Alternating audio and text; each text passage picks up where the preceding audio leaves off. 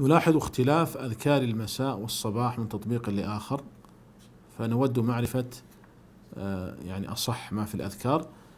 آه، أصح ما في الأذكار أذكار الصباح والمساء آه، هو ما ذكره شيخنا عبد العزيز بن باز رحمه الله في كتابه تحفة الأخيار. وهو كتاب صغير في حجمه عظيم في فائدته. تحفة الأخيار للشيخ عبد العزيز بن باز.